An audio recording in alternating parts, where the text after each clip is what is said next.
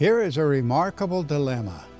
As occurred in all prior visits to comets, no appreciable water ice was seen on the surface of the active comet Tempel 1.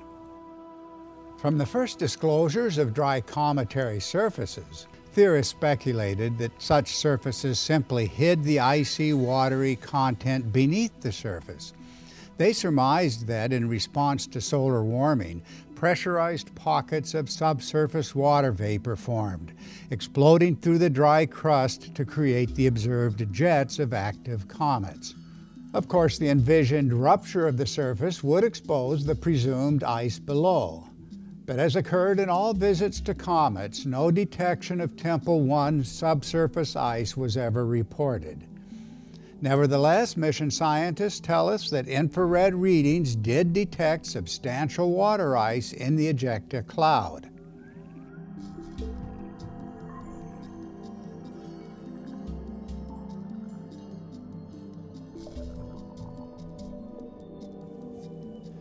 The enigma deserves investigation. What happened at the surface and below the surface at the moment of impact? Most NASA scientists interpreted the fast-moving cloud as vaporized silicates.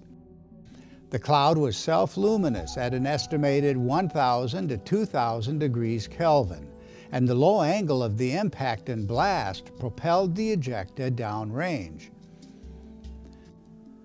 The infrared readings of the ejecta occurred about three seconds after impact, as the cloud came into the view of the infrared camera. These readings show what NASA scientists describe as a narrow beam of water.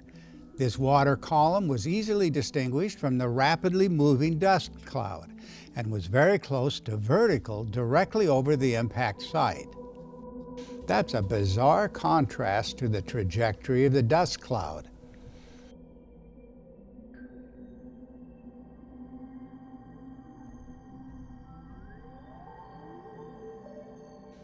How did a vertical column of water get instantaneously separated from an explosion of dust, heated to over 1,000 degrees and propelled downrange? The electric comet model offers an answer. The heated silicate cloud would be ionized, a plasma, a conductive pathway for an explosive electric discharge, the evidence indicates the discharge occurred between a negatively charged nucleus and a surrounding region of positive charge. An abundance of hydrogen ions gathered at or close to the surface of the nucleus would provide the necessary conditions for two things. First, an instantaneous electrical breakdown or discharge on impact. And second, an equally instantaneous electrochemical response to the discharge. Consider what is already known from laboratory experiments.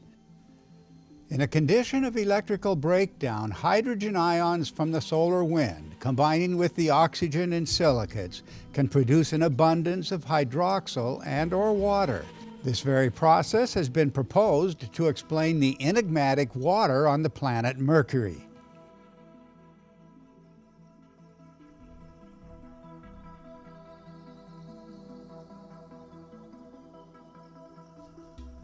The electric comet model suggests that the detected column of water directly over the impact site occurred along the path of an electric discharge, and that always means roughly perpendicular to the surface.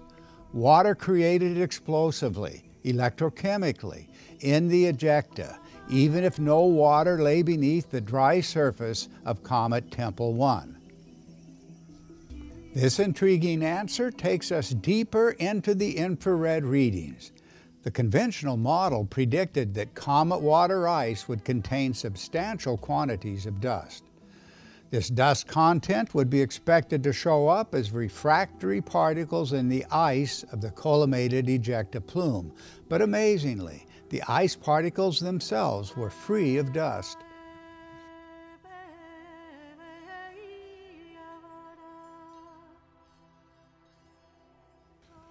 It seems the instruments measured virgin water, water freshly formed, as one would expect from the instantaneous electrochemistry of water production from hydrated silicates. This very point is emphasized in a recent analysis by Dr. Franklin Anariba, a specialist in electrochemistry at the Singapore University of Technology and Design.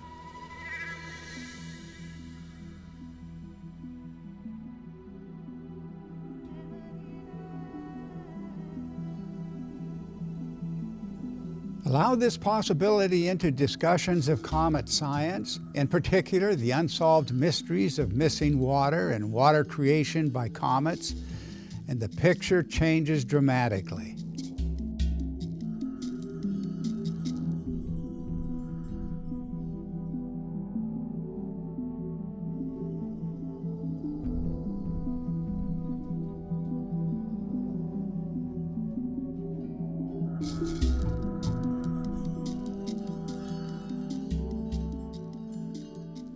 When we follow this possibility, the missing water on the surface of Tempel 1 becomes an affirmation of the electric comet model.